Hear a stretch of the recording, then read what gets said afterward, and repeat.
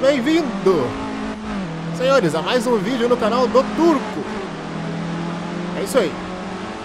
Seguinte, tô ocupadíssimo no trampo, mas eu vi esse mod aqui, eu falei, pelo amor dos meus filhinhos, eu preciso fazer um vídeo sobre esse mod do Acetão Corsão, porque, cara, que coisa linda que é isso aqui. Como pode existir na face da Terra um mod tão bonito? É impressionante. Olha isso. Que delicinha, cara. Tô falando do Fórmula Ford Russell Alexis MK14. É a versão 1.0 desse mod que eu, sem querer, achei no Race Department.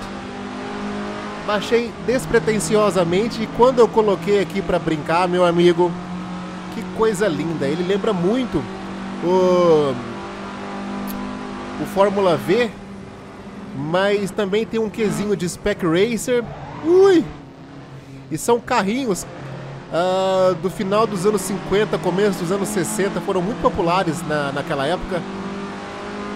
Carrinhos open wheel, como vocês devem estar vendo, sem nenhuma aerodinâmica, não tem aerofólio, não tem. Não tem nada, cara. Não tem. É, é, é uma coisa linda, é uma baratinha com motor, com um pneuzinho radial aqui, um motorzinho bem tranquilo pra gente poder dividir freada. Esse latido no fundo que vocês estão ouvindo é minha cachorra, eu peço desculpas. Estamos aqui na pista de Silverstone, antiga, óbvio para combinar com esses carros. São três voltinhas só, cara, eu tô muito tarefado no serviço. Não era nem pra esse vídeo existir. Câmbio H, tá? Eu vou tentar fazer um vídeo depois com, com eu filmando a, a, o meu pé no, no câmbio, fazendo punta-taco bonitinho. Mas ele é uma delícia, cara. Ele lembra muito Fórmula V do automobilista. Mas, ao mesmo tempo, o, no iRace tem um carro que chama Spec Racer Ford. Eu não sei, a frenagem, o jeito de frear o carro é muito parecido. Porque você tem que ser muito, muito delicado na hora de diminuir a velocidade. Senão a traseira vai embora de um tanto que fica impossível de controlar. E aquele Spec Racer é, é muito parecido nisso. São carros de pouca potência, tanto o Spec Racer quanto o Fórmula V, quanto esse Fórmula Ford aqui dos anos 50. Mas como ele não tem quase nenhuma aderência aerodinâmica, quase nenhuma aderência mecânica, olha como que esses pneuzinhos são fininhos, ainda são radiais ainda. Uh, fica muito sensível a, a frenagem dele. Ele não vai distracionar muito se você meter o pé no acelerador ali, a não ser que ele esteja parado. Ele não vai perder tração na hora de, de sofrer o torque. Mas na hora de frear, meu amigo, um Deus nos acuda. E isso é muito legal. Pra. Nossa senhora! Tá vendo? Não tem, não tem aderência lateral nenhuma.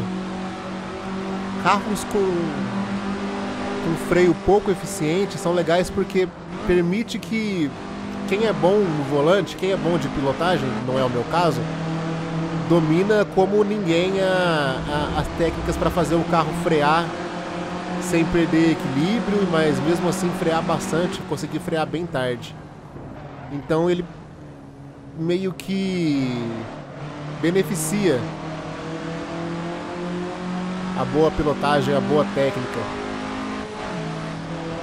Não vai beneficiar muito quem tem muito arrojo, porque como eu disse, tem que ser muito delicado na tomada de de decisões aqui, nos inputs que você vai colocar no veículo. Mas ele é muito legal, cara. Ó, o meu contagiro tá funcionando bonitinho. A gente vai trocar a marcha mais ou menos dos 6.500, das 6.500 rotações por minuto.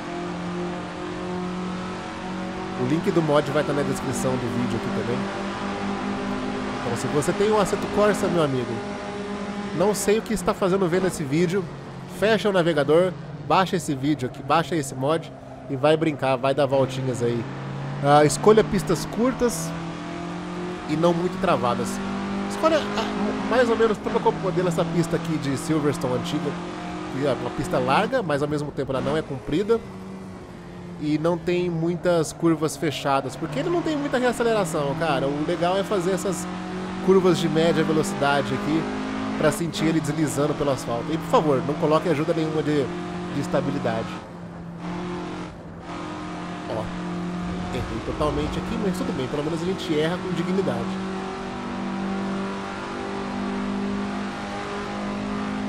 Duzentos por hora, chegando 200, até que é rápido, né? Vamos lá, senhores, última curva. O vídeo é bem rapidinho, tá? Desculpa aí pela... Ô, oh, meu querido, vamos passar... oh, meu Deus, mas é óbvio que eu tenho que fazer uma das minhas. É. Seguinte, senhores, Videozinho muito rapidinho só para mostrar esse mod para vocês. Espero que vocês tenham gostado. A gente se vê muito em breve nos próximos vídeos aqui na Garagem do Turco. Falou!